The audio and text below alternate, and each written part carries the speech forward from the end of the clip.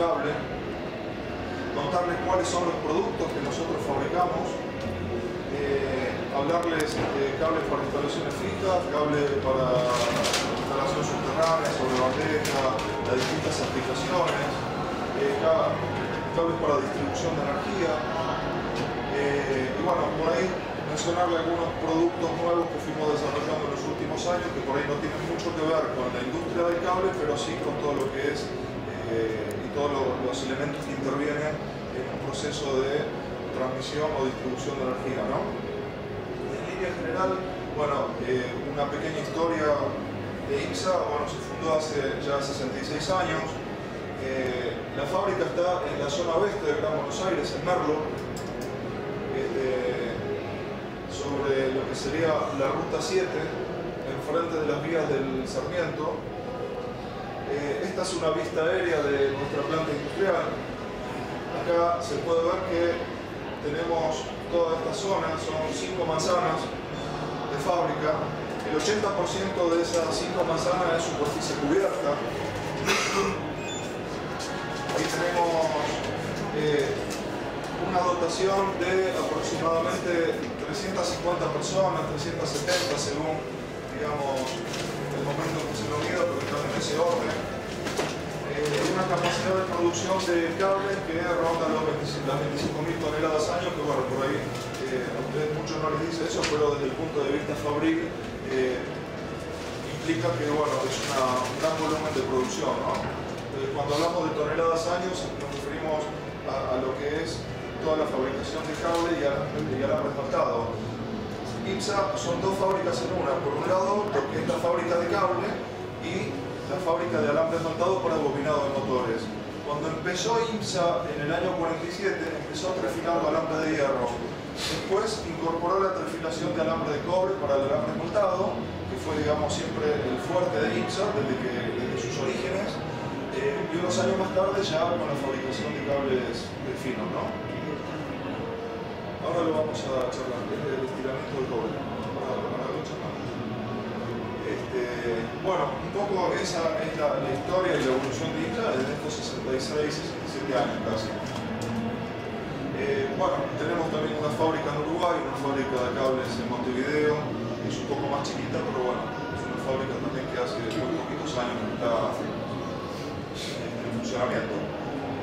IMSA, para poder dar una buena calidad de servicio a, a, todos sus clientes, tiene su fábrica en Merlo y dos sucursales, una acá en la ciudad de Córdoba y otra en la ciudad de Rosario. Desde la ciudad de Córdoba atendemos todo el noroeste argentino, desde Rosario toda la zona del litoral y desde la fábrica en Merlo todo el sur del país. De esta manera somos los únicos fabricantes de capital nacional que tiene esa eh, posibilidad de darle a todos sus clientes eh, en el interior del país un stock permanente y una muy rápida calidad de servicio para, que, para satisfacer en definitiva a los clientes finales que son los usuarios. ¿no? Este, ¿Por qué INSA? Bueno, eh, acá entramos un poquito ya a hablar del tema calidad. O sea, tenemos que saber que en el país debe haber alrededor de 100 110 fábricas de cables que están registradas. Imagínense las que no están registradas, ¿no? O sea, cualquier eh, empresa chiquitita eh, compra una extrusora que es la que sirve para poner el aislante al cable eh, y en el fondo de la casa, bueno, comprando la cuerda fabrica cable. Entonces, bueno, nos enfrentamos con una competencia que muchas veces presenta y ofrece productos que tienen una calidad que ahora vamos a hablar en detalle cuáles son las diferencias. ¿no?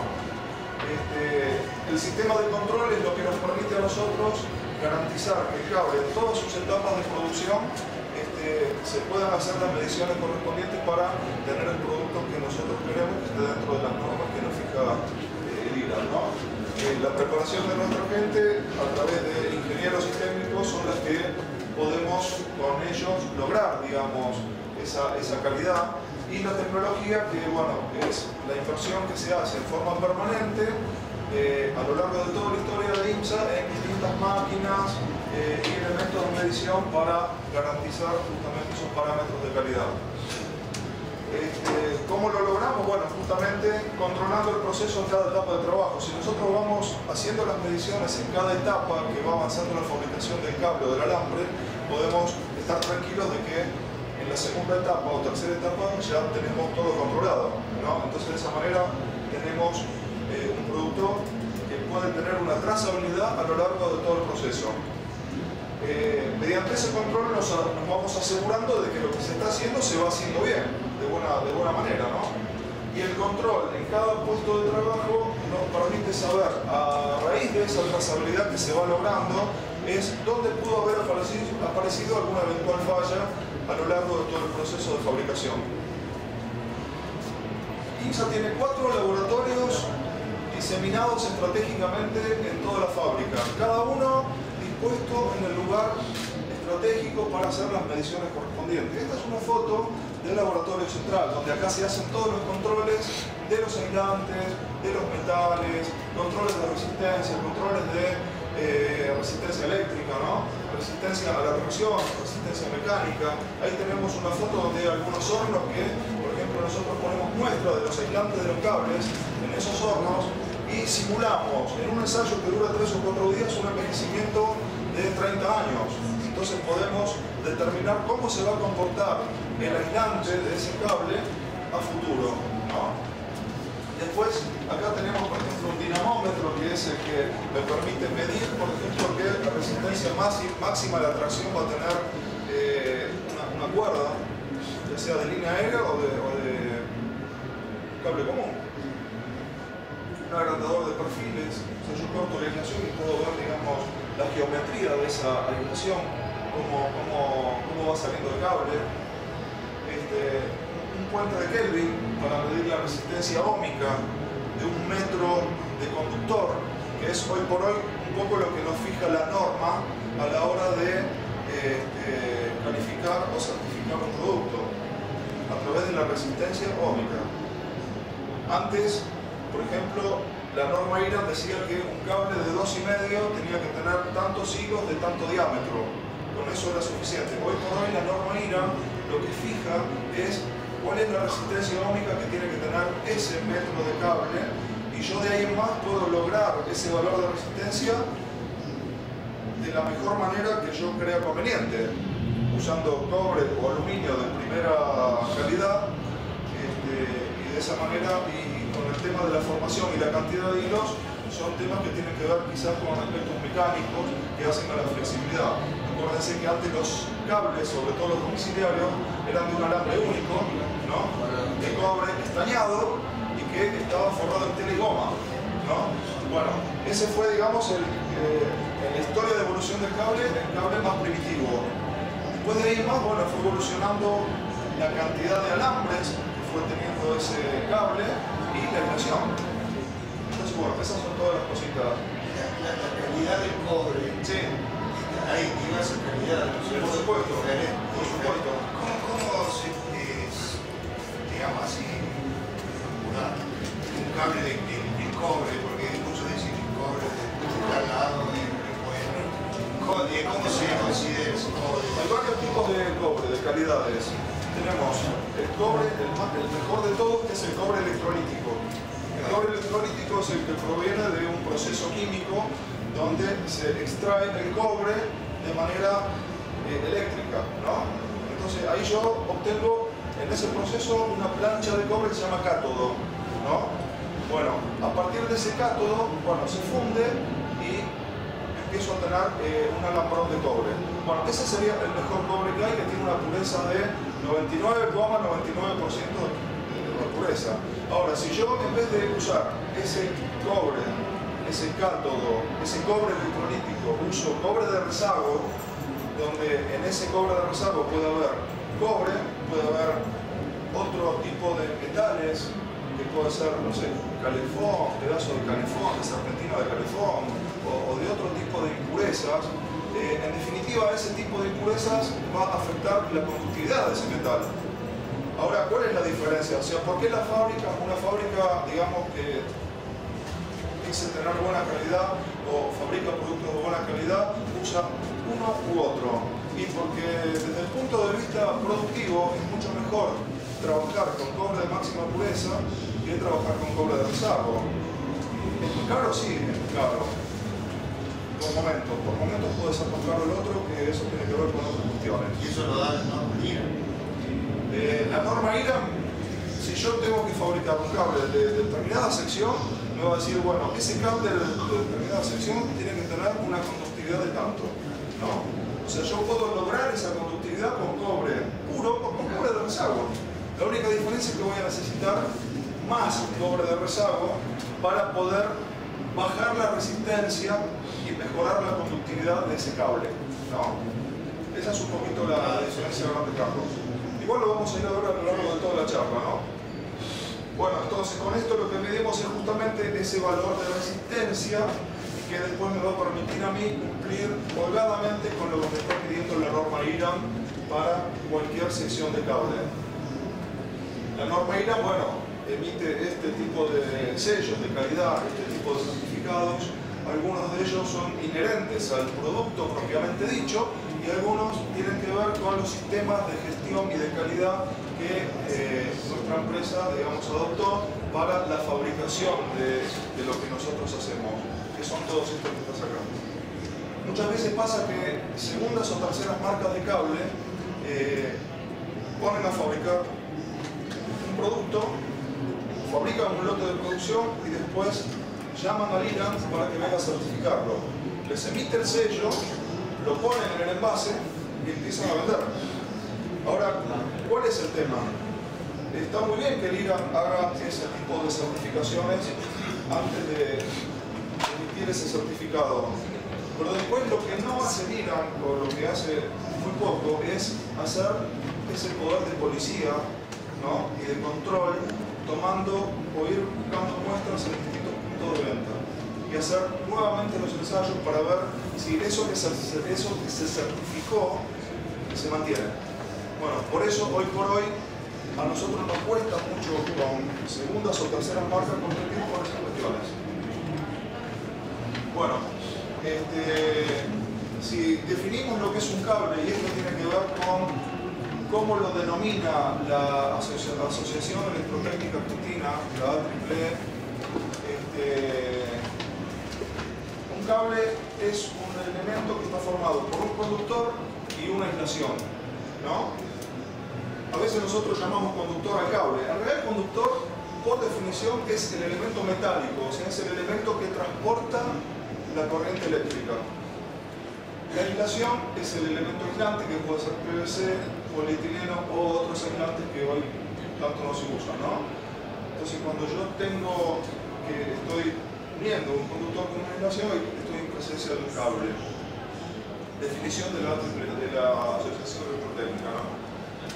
Este, volviendo a lo que hablábamos hace un ratito de, de la calidad del cobre y demás, el cobre es uno de los elementos, creo que el, que más se utiliza para la fabricación de cables. El aluminio también.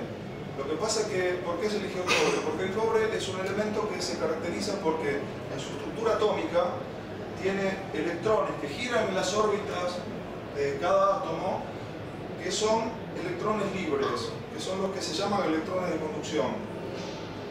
La propiedad que tiene el cobre es que esos electrones libres y de conducción están en un estado de agitación permanente en las órbitas y hace que ante cualquier diferencia de potencial que yo aplico entre los extremos de un cable, de un conductor, esos electrones libres tienen una movilidad importante que si yo en ese cobre, por ejemplo, si hablamos de cobre, eh, le estoy metiendo impurezas o estoy usando cobre de rezago, esta movilidad se ve disminuida, ¿no? O sea, al verse disminuida esta movilidad, penaliza la conductividad del cable. al penalizar la conductividad del cable me aumenta la resistencia ómica, o al revés, al aumentar la resistencia ómica penaliza la conductividad. Bueno, ahí es donde yo tengo que recurrir, si no uso un cobre de mucha calidad, a tener que agregarle más metal para compensar ese déficit que me está generando la inclusión de estas, partículas y de estas impurezas. ¿no? Entonces acá tenemos una vista donde vemos cómo sería un pedacito de muestra de un material conductor, cómo serían digamos, esos electrones que se comentaba y cómo sería un material aislante. Un material aislante es aquel que directamente tiene esos electrones de conducción rígidamente estáticos en su estructura atómica. Por eso se usa algunos aislantes que puedan ser para los cables el PVC, el polietileno o en otro tipo de elementos eléctricos, las porcelanas y otro tipo de elementos que son justamente aislantes por este motivo. Ahora en Messi voy muy rápido. ¿ah? Bueno, procesos primarios de producción. O sea, vamos a hacer mucho énfasis en tema calidad, calidad, calidad. Entonces acá, en esto de lo que se denomina proceso primario de producción, tenemos una serie de pasos que me preguntaba acá el señor hace un ratito. Fundición colada y laminación. O sea, nosotros agarramos el cobre, lo fundimos, ese cobre que está en un horno se cuela, gracias, por eso dice colada, y laminación que es el proceso donde yo ese cobre que voy fundiendo lo voy transformando en distintas formas hasta que en la otra punta sale un alambrón de 8 milímetros. Ahora vamos a seguir con eso. La trefilación es el proceso que agarramos el cobre y lo estiramos. ¿Para qué? Para reducir el diámetro. O sea, la trefilación es el proceso de reducir el diámetro de un determinado eh, nivel a uno menor. ¿no? Eso es una propiedad que tienen algunos metales y otros no tanto. El cobre es justamente tiene esa propiedad de ser fácilmente, se llama ductibilidad. ¿no? O sea, hay, hay metales que son útiles y maleables es una definición, una definición que estudiamos en el colegio, me acuerdo, ¿no? La maleabilidad quiere decir transformarlo en láminas y la ductibilidad es transformarlo, transformarlo en hilos. Entonces yo, es increíble cuando eh, uno se para delante de la máquina, de la trefiladora, y directamente uno agarra el cobre y, se estira como un chicle. Es increíble. O sea, obviamente con, fuerza mecánica se estira. O sea, en el proceso de trefilación no hay pérdida de material hay estiramiento. O sea, voy reduciendo el diámetro en distintas etapas. Una vez que tengo trefilado todo, cableo los alambres para conformar las cuerdas, ¿no? Después se le pone la instrucción de la aislación, o sea, se le pone el plástico, se cablean las almas para formar, por ejemplo, un cable subterráneo, un cable de taller, encintado de armadura, relleno, van y fraccionado. Ese es un poco, eh, a grandes rasgos, el proceso de fabricación del cable. Esta es una foto del horno donde se está fundiendo ese cátodo o ese cobre de máxima calidad que les hablaba al principio, ¿no? Bueno, ahí se ve cómo está el cobre fundido. Esta es una, una lámina, una barra de de cobre que sale de ese horno.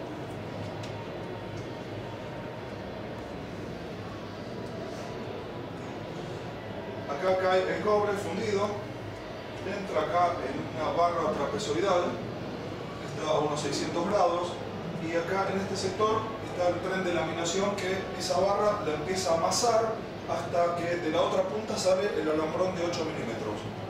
O sea, ya materia prima para iniciar el proceso de trefilación. Bueno, esto es lo mismo. No sé si lo dan. Esta es la, foto del horno. Fíjense que acá es un poco el proceso de lo que sería la trefilación. Está mostrando un esquema de lo que es la trefilación. Yo entro acá con un diámetro y salgo con otro. Hago pasar ese alambrón por unas piezas que se llaman trefilas y lo voy estirando cada una de estas tres filas son las distintas etapas de reducción de diámetro. No, no, temperatura normal. Sí se calienta. Sí, cuando yo lo estiro se calienta. Este es el alambrón que sale del horno, que contaba hace un ratito. Estos son eh, el alambrón de 8 milímetros que les comentaba. Y esta es una trefiladora de cobre o aluminio. Acá lo que les mostraba, acá están las tres filas acá adentro. ¿no? Estos son volantes que son los que, una vez que yo terminé de nebrar ese alambrón, empiezan a girar todos a distinta velocidad. Este, este volante va a girar a mucha más velocidad que este, porque va saliendo más, más cantidad de metros de alambre. ¿no? Si acá yo estoy metiendo un kilo de cobre de 8 milímetros, de la otra punta sale un kilo de cobre, pero de 2 milímetros. No hay pérdida de material. Al pasar por la otra fila, el cobre se, se estira, se calienta el metal por el trabajo mecánico que se va generando eh, y este líquido es un poco el que se ocupa de, no solo de lubricar el paso del cobre por la trefila, sino además de eh, enfriarlo. Una vez que yo tengo esos 2 milímetros ya reducidos, entro en una trefilación secundaria donde meto directamente 16 alambres acá en otra trefiladora y los vuelvo a trefilar, o sea, los vuelvo a estirar. ¿Y qué es lo que sale de acá? Directamente ya sale la cuerda, la cuerda de cobre del cable del conductor que va a formar parte de las distintas medidas de los distintos cables. Fíjense un detalle que acá, cuando les hablaba al principio de lo que es productividad y de por qué usábamos nosotros cobre de máxima pureza, es porque en este proceso de perfilación múltiple, que les mostraba recién, si se me llega a cortar un hilo, ese hilo que se corta pega el chicotazo y me corta al resto de los hilos. Bueno, enhebrar de nuevo toda esa máquina este, me puede llevar entre 6 y 8 horas de tiempo para retomar de nuevo la producción, porque es un trabajo manual eso, casi artesanal, el proceso de enhebrar esa perfiladora. Una vez que arrancó ya vuela, Fíjense que ahí hay un valor que es 24,2, es la velocidad en metros por segundo que se está trefilando ese alambre. Si yo no usara cobre de máxima pureza, no podría trabajar esa máquina a esta velocidad. Con lo cual, a la fábrica le conviene usar cobre de máxima pureza, primero porque va a ofrecer un producto de muy buenas prestaciones y además porque va a tener una eficiencia en la producción que le va a permitir trabajar con estas velocidades. Bueno, hasta acá hablamos un poquito de metales, de conductividad. Acuérdense que la diferencia entre el cobre y el aluminio, que tiene un comportamiento mecánico similar, es que el aluminio conduce un 60% de lo que conduce el cobre. O sea, esa es un poco la razón por la que se usa más el cobre que el aluminio. Otra razón es que el aluminio no lo puedo eh, refilar a secciones muy finitas, el cobre sí. Calcule que un alambre de cobre yo lo puedo estar trefilando a diámetros de 0,06 milímetros, que es un capilar prácticamente, que son los alambres que se usan para después esmaltar y fabricar el alambre para bobinar los micromotores en la industria electrónica, por ejemplo. Que son alambres tan finitos que además después empieza todo el proceso de esmaltación donde se le ponen un montón de capas de esmalte justamente para darle la rigidez eléctrica que necesita ese alambre en un bobinado de motor. Así que bueno, esto es un poco la diferencia entre el cobre y el aluminio, ¿no? Sí, sí, por efecto Joule, eh, cuando empieza a conducir, digamos, corriente a lo largo de un cable, bueno, ahí levanta temperatura, ¿no? No, no, no, o sea, sí, o sea, los dos levantan temperatura. Este, en el caso del aluminio, a igual cantidad de corriente va a levantar más temperatura porque tiene, digamos, mayor resistencia. Mayor resistencia al aluminio que el cobre, ¿no? Por eso tengo que aumentar la sección de aluminio. Si yo quiero transportar la misma cantidad de corriente, una regla mnemotécnica que eh, es la sección siguiente. O sea, todas las secciones de cable están normalizadas. 2,5, 4, 6, 10, 16. Bueno, si yo tengo un cable de 10 milímetros para que transporte la misma cantidad de corriente en aluminio, tengo que llevarlo a 16 milímetros. Reglita mnemotécnica. ¿eh? acá empieza el fenómeno de la temperatura que hablamos recién con respecto al comportamiento de los aislantes. Hay dos tipos de aislantes que se usan en la fabricación de cables, que son el PVC y el polietileno. ¿Cuál es la diferencia entre uno y otro? La diferencia es que el polietileno tiene 20 grados más de temperatura, soporta 20 grados más de temperatura, con lo cual yo a ese conductor lo puedo estar exigiendo un poco más que si usara aislación en PVC. Porque el problema de un cable es, o sea, el punto crítico de un cable es el aislante, ¿no? O sea, si yo levanto mucha temperatura en el conductor, el aislante se empieza a degradar. Cuando se empieza a degradar el aislante, empieza a perder las propiedades dieléctricas que necesita ese aislante. Y ahí es donde se produce, cuando llega a un determinado valor, eh, la degradación y el cortocircuito, en definitiva. ¿no? Y eso, eso que dicen que la mayoría de los cables ya vienen antillados. Sí. Eso es por el mismo proceso. No, no, eso tiene que ver con algunos componentes que se ponen en los aislantes para que evite la propagación de la llama. Que se le llaman antillama o no flamex, que es para justamente propague la llama. Si nosotros comparamos el PVC con el polietileno, así como el PVC tiene algunos atributos y el PVC y el PVC tiene algunos y el polietileno tiene otros, el polietileno eh, en general no es un buen aislante si lo miramos por el lado de la propagación de la llama. O sea, el polietileno se propaga mucho más y se incendia mucho más que el PVC. De hecho, hay un ensayo vertical que si yo prendo fuego un polietileno, la llama lo consume, o sea, va para arriba y lo consume.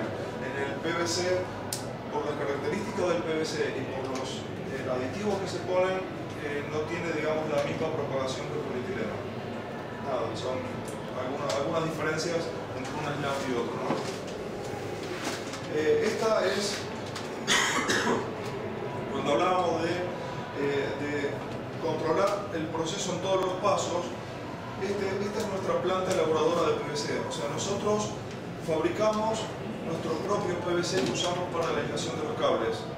Esta es nuestra planta. Entonces acá también hacemos los controles y se formula el compuesto para asegurar que después el producto tenga, digamos, características óptimas ¿no? de calidad. Bueno, esto es un poco cómo se fabrica el PVC, que todavía al caso de esta charla, ¿no?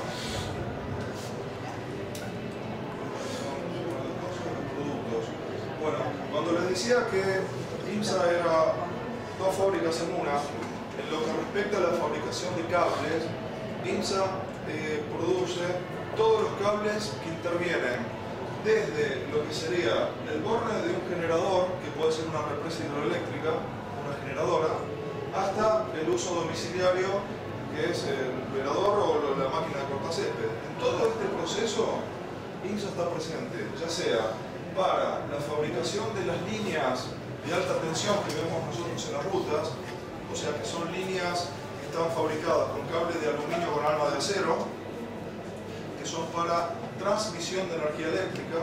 O sea, cuando yo salgo de una represa, perdón, cuando yo salgo de una represa, de una turbina, acá tengo la turbina que me genera energía en un nivel de tensión en 13.800 voltios, se eleva en este transformador a 500.000 voltios y ahí transporto potencia a través de un elevado nivel de tensión. O sea, vengo con bajo nivel de corriente y alto nivel de tensión. Entonces lo que traigo es potencia. Cuando tengo que transportar potencia de mil y pico de kilómetros, tengo que recurrir a esos cables que son los que vemos en la ruta. Alma de acero y conductor de aluminio. ¿Por qué se usa ese cable? Primero porque el aluminio es mucho más liviano que el cobre. Y por otro lado, imagínense si pusiéramos cobre en las líneas aéreas. ¿Cuánto dura? Se lo chorea, literalmente. Si hoy se roban las bajadas domiciliarias, ¿no? No se olviden que el cobre hace 10 años atrás costaba alrededor de 1.700 dólares la tonelada. Hoy vale 8.000 dólares. O sea, eso es valor de cotización del mercado de Londres. 8.000 dólares la tonelada. Con lo cual, la diferencia de costo entre un cable de aluminio y un cable de cobre es gigante. ¿no? ¿El aluminio se dobla como el cobre o es más difícil doblarlo? No, no, No, se dobla igual, lo que pasa es que uno de los atributos para, para, que el cable sea bien flexible es aumentar la cantidad de alambres. O sea, ¿cuál es el caso extremo? El caso extremo es cuando se fabricaba antes con un solo alambre. El otro extremo es, por ejemplo, el cable de soldadura. El cable de soldadura es un cable terriblemente flexible. ¿Por qué? Porque tiene una cantidad de alambres importante en relación a la formación, por eso le dicen clase C, clase 1, clase 2, clase 5 o clase 6. ¿no? Eh, clase 1 era el cable con un único alambre. Clase 2 es el cable con formación rígida, que tiene poquitos alambres por milímetro cuadrado. Y el clase 5 ya es un cable que eh, se lo empezó a fabricar con muchos alambres justamente para mejorar la flexibilidad del cable. Entonces eso mejora y ayuda la instalación eléctrica en todas las cañerías. Obviamente que eso tiene que estar ayudado por, el, por la calidad de la estación también. Y ahora vamos a hablar un poquito de eso. Entonces, acá les, decía, venimos eh, con todos los cables de transmisión de 500.000 voltios, que son los cables de aluminio acero. Después ya empiezan las estaciones de rebaje, donde bajamos de 500.000 voltios 132, 66, 13200, hasta llegar a la baja tensión que son los 3x380 que vemos en la distribución ya eh, en los barrios. En el medio tenemos estaciones transformadoras que son las que van reduciendo ese nivel de tensión este, y después los cables subterráneos de media tensión que también requieren de una tecnología eh, especial que ahora vamos a, a charlar un poquito. Bueno, dentro de todo el rango de productos que intervienen en ese sistema, en ese esquema unifiliar, que vimos recién, bueno, tenemos los cables para instalaciones fijas, que son los que usamos, eh, digamos, regularmente, eh, instalaciones móviles, los cables taller, los de plomo, este, los de soldadura, señalización y comando, que son cables de uso subterráneo, también con activación y vaina, cables de potencia subterráneos en baja tensión, cables de potencia subterráneos en media y alta tensión para 13.200, 66.000 voltios y para distribución aérea aislados y desnudos. Esta es toda la gama de productos que IMSA hoy ofrece al mercado. Si nosotros hablamos de niveles de tensión, ahí tenemos la clasificación también definida por la EA, o sea, ¿a qué se llama baja, media, alta? Esos son los rangos sea, muy baja tensión menor o igual a 50 voltios. Baja tensión por debajo de los 1100, media tensión entre 1100 y 33 kV, de 33 a 150 alta tensión y de ahí para arriba, bueno, muy alta tensión. Rango definido también por la EA. La Asociación de Técnicas de eh, este es un esquema de lo que es el Plan Federal de Interconexión de Energía Eléctrica en líneas de 500 kV, que les comentaba recién, que bueno, INSA también tuvo una buena participación en la provisión de estos cables para estas líneas. Bueno, acá el objetivo de este plan federal es interconectar todo el país con líneas de 500.000 voltios. Bueno, algunas fotos de, de las estaciones transformadoras con las bobinas nuestras cables para instalaciones fijas. Bueno, recién hablábamos de las características de los cables en cuanto a lo que es la inflación y en lo que es la eh, característica de las cuerdas. Fíjense que acá, ¿cuáles son los atributos que normalmente ve un instalador de cables Plastic CF? ¿no? Son estos que están acá. Que la cuerda sea cilíndrica, retorcida y compacta no es un atributo, esto es una característica del cable, del cable nuestro. O sea, cuerda cilíndrica retorcida y compacta. ¿Qué es retorcida? Que está, digamos, a lo largo del cable, cada alambre está dispuesto de esta forma. ¿Qué se logra con eso? Tener una mejor flexibilidad del cable. Si yo pongo los alambres uno al lado del otro, a ver, es, no diría despreciable, pero eh, digamos, eh, la, la, diferencia realmente se nota cuando aumenta la sección de cable. Cuanto mayor sea lo que se llama paso de cableado, o sea, cuanto más vueltas tenga entre que el cable baja y sube, hace que el cable ese sea más flexible, ¿eh? se pueda trabajar mejor. Máxima flexibilidad, formación clase 5, o sea, acá entramos en una de las tantas diferencias que hay con segundas o terceras marcas, que no ofrecen cable de formación clase 5, sino formación clase 4. O sea, tienen menos alambres por milímetro cuadrado. Eso penaliza la flexibilidad del cable que los colores sean vivos y definidos, que la superficie sea lisa y brillante, eh, que sea deslizante en cañería, tratado una cosa con la otra. Si yo tengo que la superficie de ese cable es eh, poco rugosa, hace que el cable tenga una mejor, eh, digamos, un mejor deslizamiento en la cañería mientras lo estoy instalando. Es una propiedad, un atributo. Este, que tenga bueno, una pelabilidad adecuada, este es otro aspecto que también diferencia un cable de primera y de segunda. ¿Qué quiere decir que tiene una pelabilidad adecuada? Que se pele fácil o que le cueste pelarse. Se pele fácil. ¿Por qué? Si no, para trabajar y A ver, si yo lo pelo fácil, el cable, es muy fácil que en el proceso de instalación también se corte fácil. En realidad no tiene que ser ni muy fácil ni muy difícil. Tiene que tener un punto adecuado para que no se rompa la aislación en el proceso de instalación. O sea, muchas veces nos consultaron fabricantes, por ejemplo, de fichas o de zapatillas. No, el cable yo prefiero que se pele fácil porque lo hago más rápido. Pero, por ejemplo, en un cable tipo taller, si yo logro pelarlo fácil, en el piso del taller es muy probable que se rompa fácil. Entonces tiene que tener una pelabilidad adecuada que también está fijada por la norma y también se mide en el laboratorio. O sea, yo tengo que eh, formular el aislante de manera tal que no sea ni muy fácil ni muy duro de pelar. O sea, tiene que tener una pelabilidad adecuada como dice acá. Esa es un poco la, recomendación y lo que hoy por hoy se aprecia, digamos, de, de usar un cable, ¿no?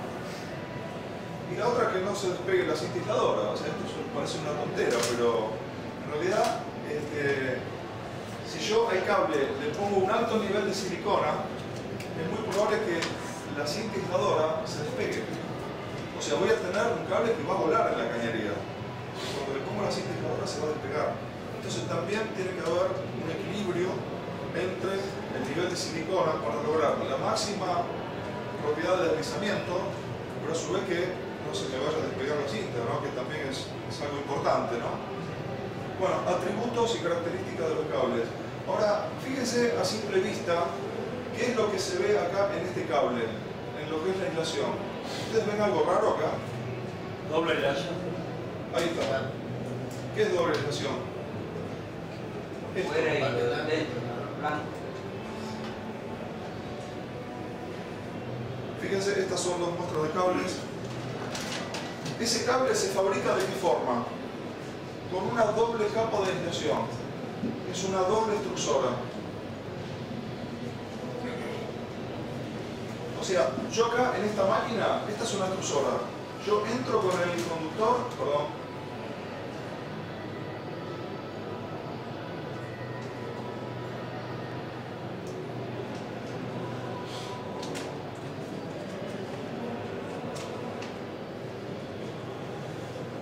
entro acá con el conductor del budo, entro en el cabezal de extrusión, que es la máquina que deposita la aislación, y tengo dos tolvas.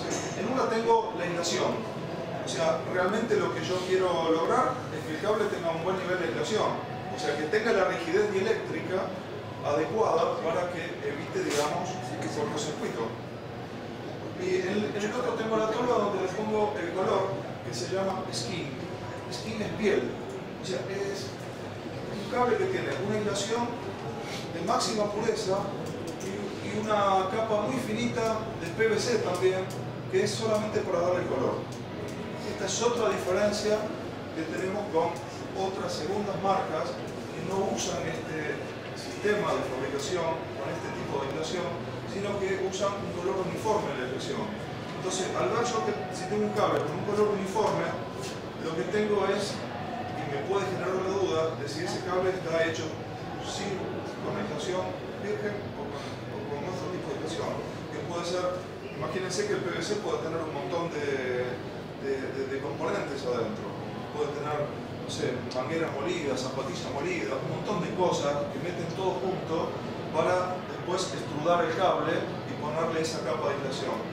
Si yo uso ese tipo de aislante, lo más probable es que, por ejemplo, no cumpla con los niveles de pelabilidad que, óptimos que necesito tener. Entonces, bueno, son cuestiones que nosotros en este tipo de charlas tratamos de señalar para que ustedes vean. Y me dicen, ¿y ¿cómo sé yo? Bueno, las dos o tres fábricas más grandes de cables usan este, este sistema. Este sistema. Y se ve a simple vista viendo si adentro es blanco o no. O sea, esa es una forma de ver a simple vista. A ver, yo no puedo medir la resistencia ómica de un cable porque no tengo, digamos, un instrumento.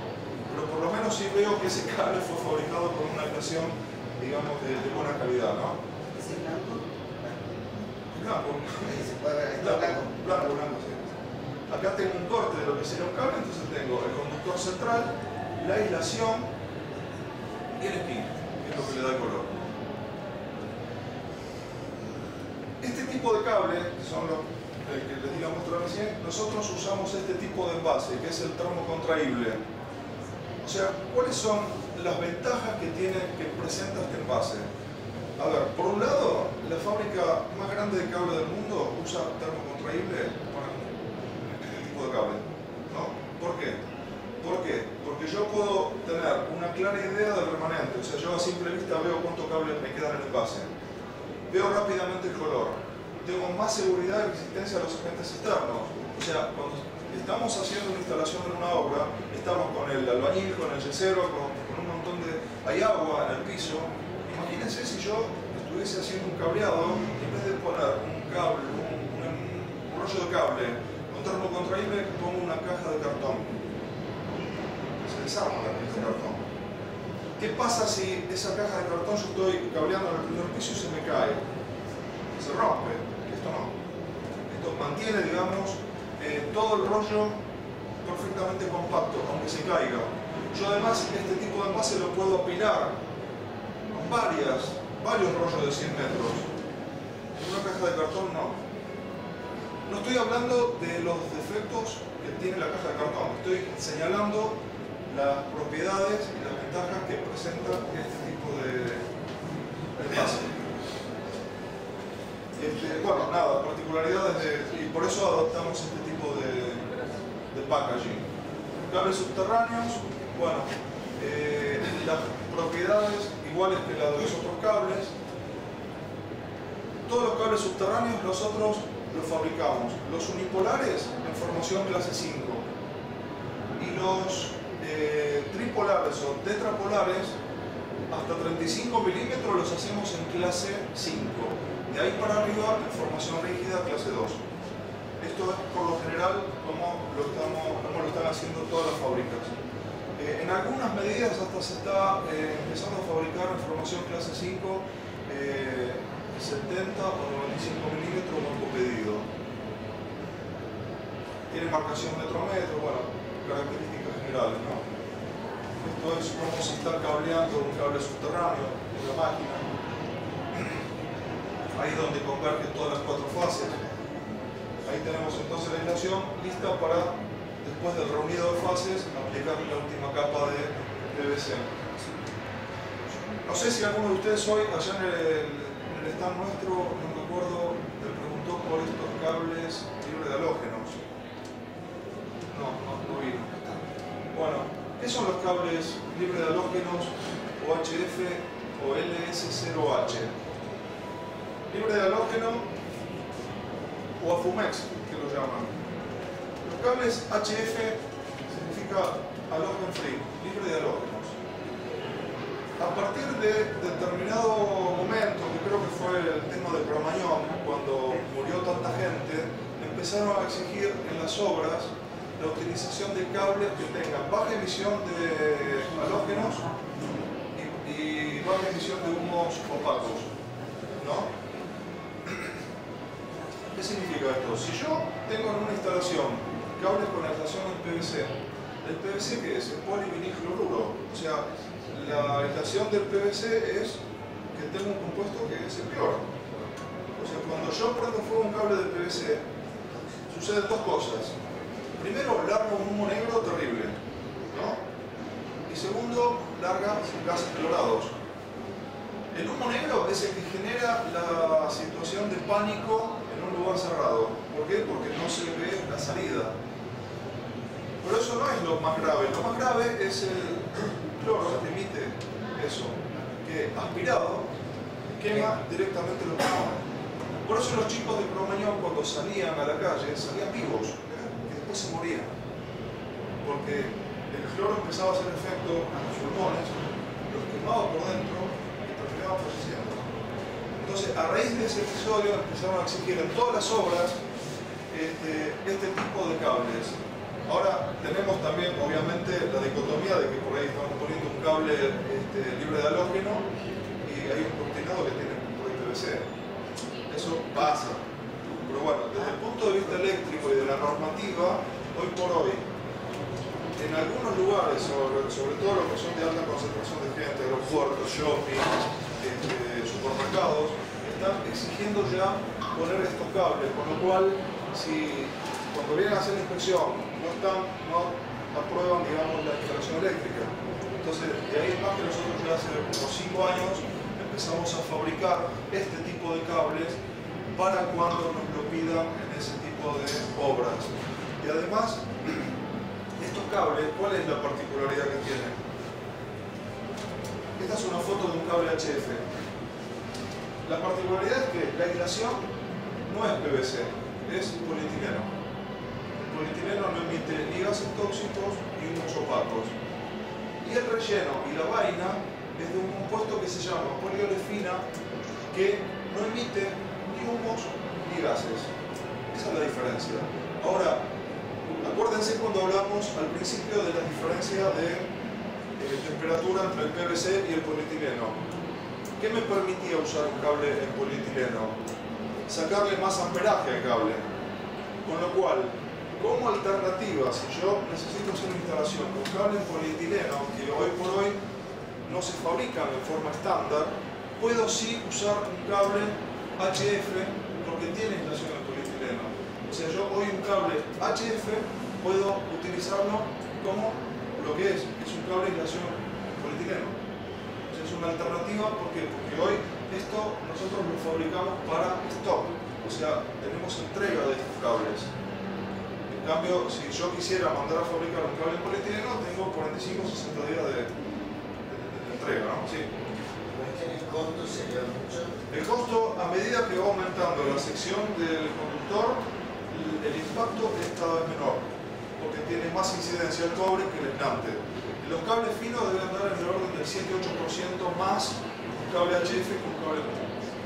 Si yo lo comparo con un cable de 1 por 240, esa incidencia puede llegar a ser del 2 o 3%. Esa es la diferencia. Un poco despreciable.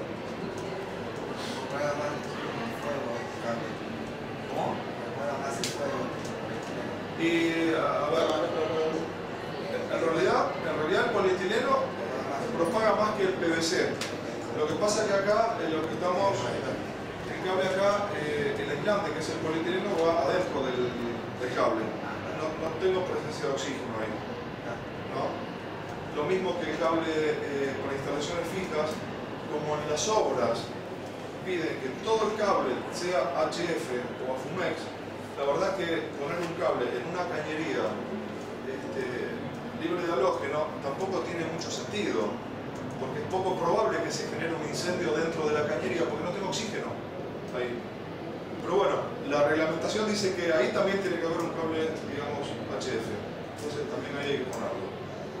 Nada. Eh, para contarles así rápidamente eh, cómo se fabrica un cable de media tensión, cómo está construido, cómo está formado, nosotros vimos hasta recién cables con una aislación en PVC polietileno simple para baja tensión. Cuando nosotros tenemos que hacer una instalación en media tensión, donde tenemos que ir por abajo tierra con un cable para transportar 13.200 voltios o 66.000 voltios, 33.000, lo que sea, tenemos que recurrir en estos cables. Estos cables que tienen, tienen un conductor central, Después tienen tres capas, un semiconductor interno, una aislación, un semiconductor externo, una pantalla y después rellenos, armaduras y vainas. Esto es un poco, no es por ahí lo que estamos usando.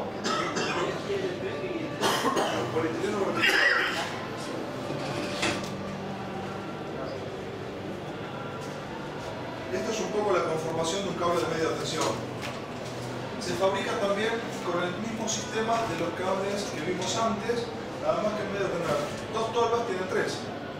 En una tengo el semiconductor interno, en la otra tengo la aislación, que es polietileno, y en la otra tengo el semiconductor externo.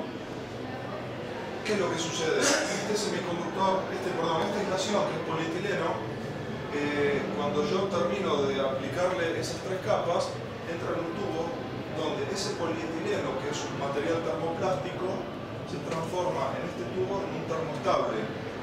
Y, sí, ¿y qué quiere decir eso? Quiere decir que las características de un material termoestable hacen que soporte niveles de tensión mucho más altos que un, nivel, que un termoplástico. Un termoplástico, como puede ser el PVC, puede soportar a lo sumo hasta 2300 voltios ¿no? de nivel de, diferencia de, tensión, de potencial. Un termostable puede soportar hasta 66.000 voltios y en algunos casos hasta 132.000 voltios. Obviamente que hay que variar el peso aislante, ¿no? Pero de esa manera puedo, digamos, tener un producto que va a tener un comportamiento bueno frente a todo lo que es los efectos electrodinámicos de, que hay entre el conductor y la pantalla. Bueno, esta es una foto de, de la extrusora, las distintas capas del cable de media, ahí está todo lo que hablábamos recién. Esta es una máquina de rayos X que va midiendo los distintos espesores que, que va teniendo cada una de esas tres capas. Bueno, esa es una forma de cómo se mide, digamos, ese ese, ese nivel, digamos, de espesor, la geometría, digamos, de ese cable. Esto es por qué se pone el semiconductor en un cable de media. O sea, en baja tensión no pasa nada. En un cable de media, cuando tengo niveles de tensión altos, por cada alambre que está conformando la cuerda del, del conductor, me genera un campo eléctrico que, si yo no le pongo el semiconductor interno, eh, hay cruces de líneas de campo en la aislación que hacen que después ese cruce de línea de campo me pueda llegar a deteriorar la aislación y eso después a la larga generar cortocircuito o, literalmente una explosión del cable. Por eso se pone, digamos, este tipo de... Bueno, nada, cómo se termina de uniformizar el campo eléctrico dentro del cable, cuáles son las eventuales fallas que pueden aparecer. Acá es donde hacemos los ensayos, o sea, este es otro de los laboratorios donde acá directamente ensayamos el 100% de la producción de cables subterráneos de media tensión en una jaula de Faraday para evitar, digamos, que haya interferencias en las mediciones. Cables para distribución, bueno, todo lo que son los cables eh, preensamblados, que bueno, eh, acá en Córdoba hay muchos en las líneas aéreas, prácticamente en, en muchos barrios instalaron estos cables que son, digamos, eh, están las tres fases y el neutro todo cableado en un solo cable, tiene un montón de ventajas con respecto a una línea convencional, ¿Eh? No, lo que es el antirrobo es la cometida, que es el concéntrico. El cable concéntrico es un cable dentro de otro que directamente me engancho del preensamblado y bajo directamente a, la alimentación domiciliaria. Este, le dicen antirrobo porque es más difícil de, robarlo, pero venga. O sea, el que quiere robarlo lo pela este, con cuidado y, y, se engancha igual. O sea, vamos a ser realistas con eso. Sí, la, ventaja de este tipo de, cables es que se minimiza la cantidad de accesorios para la instalación. O sea, cuando antes yo necesitaba, por ejemplo, en una instalación convencional, los cuatro aisladores para las tres fases en neutro, eh, hoy solamente una morcetería es suficiente para sostenerlo. Después lo que necesito, bueno, son la, los morcetos para hacer la bajada, pero eh, se minimizó muchísimo la cantidad de accesorios en este tipo de líneas. Este, bueno, pasan entre los árboles, no pasa nada. Eh, les voy a mostrar un pequeño sistemita de cálculo que, bueno, a veces nosotros tenemos una tablita en papel, pero en nuestra página web directamente podemos entrar y acceder a un sistema de cálculo que es muy simple de usar. ¿Les interesa verlo? Sí. ¿Para ver cómo Sí. funciona? No sé si alguno lo usó en algún momento. En una oportunidad. ¿Sí? Unos eléctricos. ¿Qué cosa? El. Ah, sí, sí, sí, sí, sí, sí. Salimos un poquito de acá. Bueno, me voy a quedar acá porque tengo que manejarlo de acá, ¿no? Eh, acá solamente hay que cargar algunos datos de la instalación. Entonces, tengo distintos casilleros donde yo voy seleccionando el tipo de instalación para, como objetivo final, es dimensionar la sección de cable, ¿no? Entonces yo acá puedo tener un cable donde va instalado al aire, en cañería, enterrado o móvil. Vamos a hacerlo con un ejemplo directamente. Podemos calcular un cable subterráneo para alimentar un motor. ¿eh? Entonces, enterrado. La frecuencia, bueno, es 50. Trifásico, circuito trifásico. Vamos a conectar un motor trifásico. Tensión 380. Potencia. Yo acá puedo eh, cargar el dato en kilowatts, el HP del motor, en amper o en kilovoltampere. Podemos poner, no sé, el caso de un motor de 20 HP para ver, digamos, qué sección voy a necesitar. HP, ¿cuánto? 20. Vamos un cachito. Acá hay otro parámetro que tiene que ver con cuál es la tolerancia en la caída de tensión que yo estoy, voy a necesitar para esa instalación. Para el caso de los motores, puedo tener 5% de tolerancia. Para el caso de iluminación, como hay componentes eléctricos, electrónicos, este, es mucho más sensible. Entonces ahí voy a tener que ser un poco más exigente y achicar un poco ese margen. Entonces es un motor 5%. Bueno, acá la longitud del tendido, acá está todo.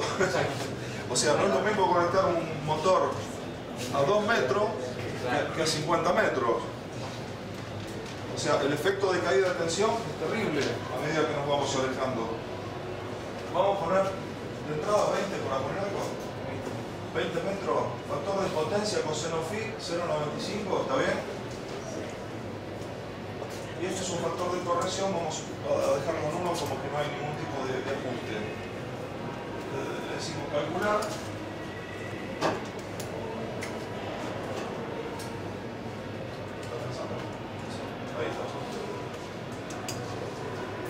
Entonces me dice que a 20 metros yo puedo directamente hacer arrancar ese motor con un cable de 1,5. 3 por 1,5. Un cable subterráneo 3 por 1,5. ¿Es verdad? Es así. Ahora vamos a hacer cuenta que en vez de 20 metros lo ponemos a 80. ¿Qué va a pasar ahí? Se va a la sección del diablo, A ver, ¿no? cable de 4 milímetros. Cable de 8 milímetros. Ahí lo está calculando. A ver. Está dando mucho. Ahí está, 4 milímetros. ¿Eh? Muy bien. ¿Lo tienen claro, señor? ¿eh? En algún momento la ¿cuánto pesa dentro de ¿Cómo? ¿Cuánto peso? Bueno, yo ahí, por ejemplo, bueno, listo, a ver, yo tengo que instalar ese motor, listo, 80 metros, tantos HP, quiero saber cuánto pesa el cable ese. Voy directamente acá, me paro acá, y tengo el dato técnico del cable. A ver, ahí, ahí. O sea, ¿dónde me lleva ese link? Me lleva directamente al catálogo que ustedes están llevando en la bolsita. Tenemos un manual donde están todas las características eléctricas y físicas de los cables. Eso que vemos ahí es literalmente la copia de ese folleto, de ese manual. Entonces acá lo que vemos es que ese cable de uno de, de 4 milímetros, ahí está.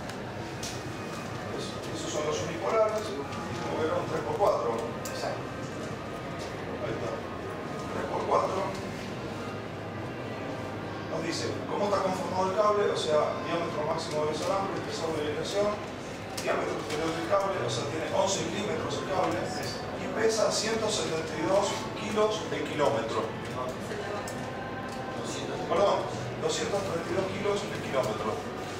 Entonces eran 80 metros, cuando se saca la cuenta, entonces sabemos cuánto a ver, esto parece tonto, pero yo tengo que ir a, comprar el cable, tengo que saber si voy eh, con un bolsito, con la bicicleta o con un camión. ¿Eh? Bueno, eh, disipa mucho mejor a un metro de profundidad, por lo que sea, que si lo tengo sobre bandeja y mucho, y mucho menos si lo tengo en un caño. O sea, el cable subterráneo no hay que ponerlo dentro de un caño. ¿Por qué? Porque si yo pongo un cable subterráneo bajo tierra dentro de un caño, Ahí lo que estoy haciendo es confinar la temperatura dentro de ese diámetro de caño. O sea, no disipa. Y si encima se le mete agua, peor. Porque el cable subterráneo no es acuático, es subterráneo.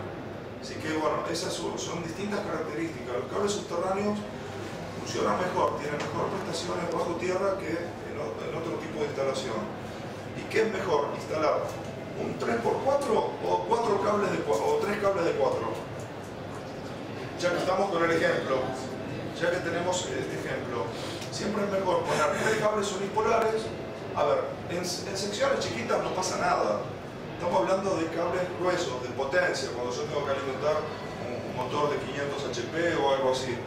Eh, siempre es mejor usar cables unipolares que tripolares. ¿Por qué? Porque el comportamiento de los cables unipolares es más independiente que en el caso de los tripolares. ¿Por qué? Porque no tiene el efecto del cable de, al lado. O sea, parece mentira, pero el efecto que genera la temperatura de una fase con la otra, si a eso le sumamos la reactancia inductiva, la reactancia capacitiva, o sea, todos los efectos electrodinámicos que genera una fase contra la otra, eh, en definitiva voy a tener una mejor conductividad en un cable con instalación unipolar que tripolar en secciones grandes, en secciones chicas no, tenemos que ser tan fanáticos tampoco. ¿eh? Pero bueno, este sistemita nos permite jugar para ver, digamos, cómo podemos ir viendo cómo se modifica la sección en función justamente si el cable es unipolar. Ahí seguramente está obligado para las dos alternativas, pero muchas veces vamos a ver que eh, poniendo cables unipolares puedo bajar la sección en vez de usar 4 milímetros, quizás puedo usar 2,5 si pongo tres cables unipolares. Puede pasar eso, obviamente hacemos el cálculo y nos quedamos tranquilos, pero hasta puedo lograr, digamos, ese beneficio. ¿Que se vainados sobre los tres cables juntos? No, separados. Tres cables, sí. Cables separados que sí, sí, sí, sí, sí. Sí, sí, sí, tal cual. No, de la misma sección no puede ser tres vainados, produce más calor y el produce más calor eh, produce la instrucciones de carga, de, diferencia de carga en las fases. Esta era una carga única. Esta era una carga única, sí, por supuesto, sí. Por eso depende del tipo de instalación. Podemos estar un montón de tiempo haciendo ejemplos de distintos tipos de, de carga, digamos, que vamos a alimentar, ¿no? Por supuesto. Pero bueno, en líneas generales no quería dejar de mostrárselo porque esto es algo, digamos, muy útil que les permite rápidamente con una conexión de internet entrar al catálogo y hacer el cálculo. ¿Cuánto lleva? ¿Dos minutos? Estamos pasando la hora. Cuando Lisa este, ya estamos terminando. ¿eh? Se me está haciendo la voz también, disculpen.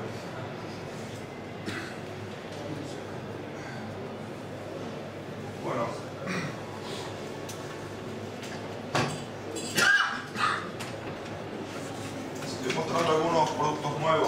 al principio.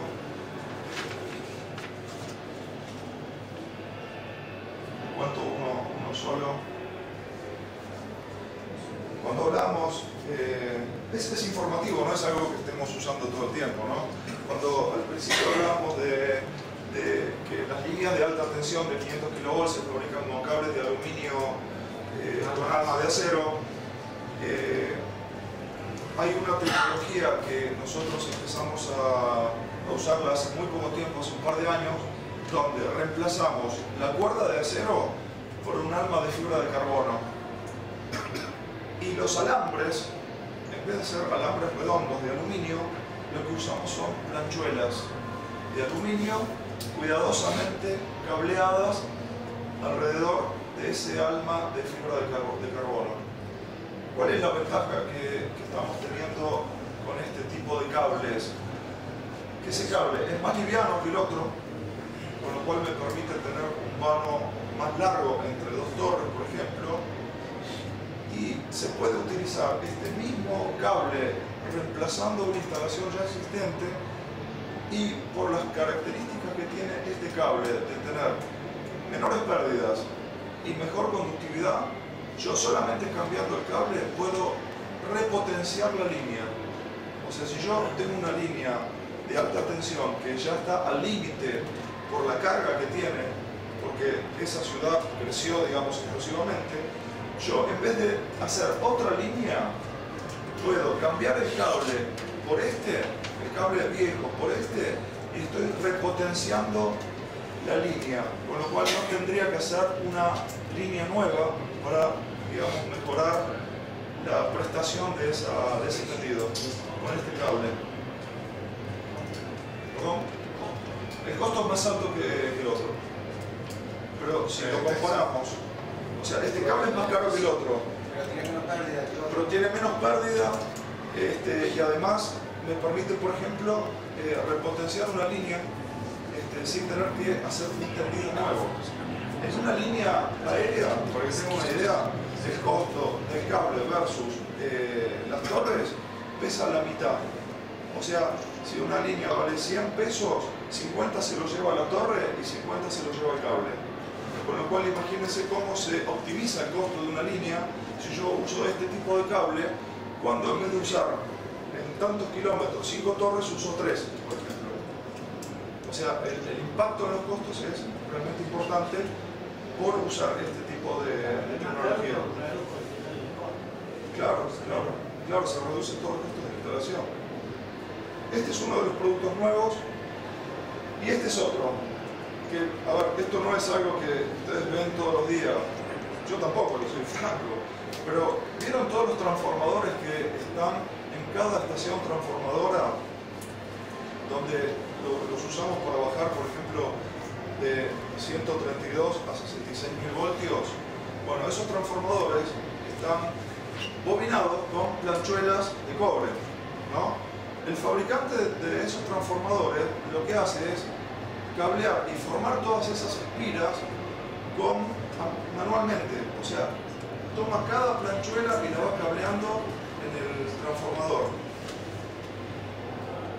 El cuidado que hay que tener es que cada conductor, digamos, o sea, si un conductor, una espira está formada por cinco o seis alambres, planchuelas mejor dicho, tiene que tener todas el mismo largo. ¿Por qué? Porque si no tienen el mismo largo, eh, empiezo a tener una situación ahí este, que me puede llegar a generar eh, algunos temas eléctricos complicados para la vida del motor. Entonces, nosotros con este desarrollo, lo que le estamos ofreciendo a esos fabricantes de transformadores es una espira armada donde cada una, cada una de estas planchuelas están cableadas de manera transpuesta, de manera tal que todas tienen el mismo largo. Entonces, el tiempo de fabricación de un transformador de potencia usando este producto se reduce prácticamente a la tercera parte. Esto se los cuento como dato. Fabricar un transformador de potencia grande puede llevar entre 3 y 5 meses, más o menos. Estamos hablando de un Tadeo Cerweni, de un o sea, esos fabricantes de máquinas grandes, ¿no? Bueno, se reduce a la tercera parte. Imagínense cómo eso impacta los costos, ¿no? Bueno, esto es un desarrollo nuestro. En el mundo hay seis o siete fábricas. En Sudamérica es la única que nosotros ya montamos y que está, digamos, ya produciendo este, en la fábrica de Merlo, de acá de Buenos Aires. Así que bueno, no quería dejar de contarles esto porque en definitiva son cosas que, si bien no lo usamos, no lo vemos todos los días, pero bueno, eh, hacen un poco también al conocimiento nuestro de, saber que existen, ¿no? Así que bueno, eh, conclusiones. Eh, con respecto a las normas, los cables que produce IMSA superan los valores que fijan las normas. O sea, por todos esos controles y cuidados que se va teniendo en todo el proceso de fabricación, eh, logramos tener un producto que eh, no solo cumple con la norma, sino que además la supera. ¿no? Este, fabricamos productos de calidad y agregamos valor con atención y servicio a nuestros clientes. Bueno, esto es un poco de, de, ¿no? Y por último, que IMSA es una empresa eh, familiar y de capital nacional. De todas las fábricas grandes de cable que están acá en la Argentina, IMSA es la única que tiene capital nacional y es familiar. Las otras son extranjeras o de capitales este, extranjeros que en muchos casos ni siquiera son del ramo de los fabricantes de cable. Solamente eso. Y bueno, simplemente agradecerles un poco este tiempo. ¿Quedó alguna pregunta? Aprovechen. Este, no sé si fue muy densa en algunos aspectos, pero la idea era darles un panorama de lo que es, eh, que más allá de que el cable es un producto que tecnológicamente es bastante estable, es un producto maduro, no tiene grandes, digamos, cosas nuevas que van apareciendo todos los años, pero hay algunos aspectos que este, está bueno compartirlo con ustedes, que son un poco los, los, que están todo el día con, con, este producto. Así que bueno, nada, agradecerles la la charla.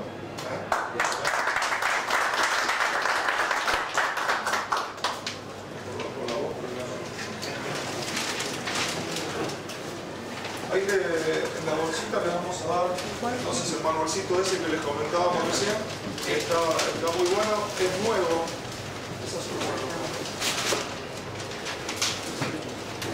No les mostré, este es el PVC Virgen. O sea, esto es lo que sale de, de la planta elaboradora de PVC que les mostré hace un rato. Bueno, de acá sale el color este, el blanco. Estos son gránulos de PVC. Esos son. Esto después entra en las tolvas, se funde, digamos, y se deposita en los cables. Claro, porque este, yo conocía que compraba los, los. Ah, sí. Y dice, no sé qué tipo le da mucho plata en los relatores porque le pone PVC recuperado. Bueno, es lo que dije hace un rato. Sí, tal cual, tal cual. Tal cual. Sí.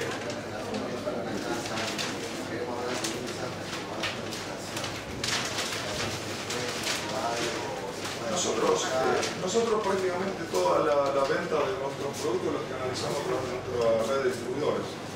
No, no hacemos venta directa. Claro. No, lo mismo, sí. Respira algún representante nuestro. Sí.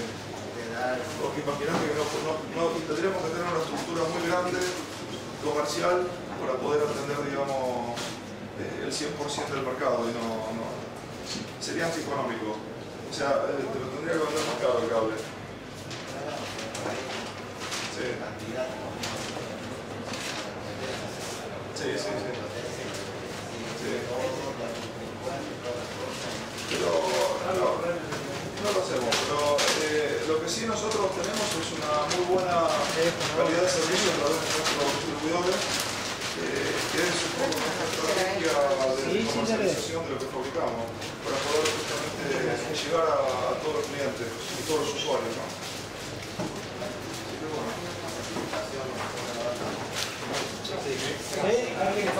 Bueno.